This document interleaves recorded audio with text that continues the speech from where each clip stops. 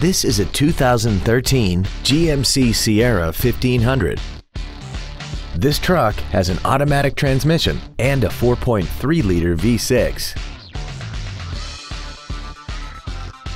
Features include a low tire pressure indicator, traction control and stability control systems, cruise control, a passenger side airbag, steering wheel mounted controls, a full-size spare tire, tinted glass, an anti-lock braking system, and air conditioning.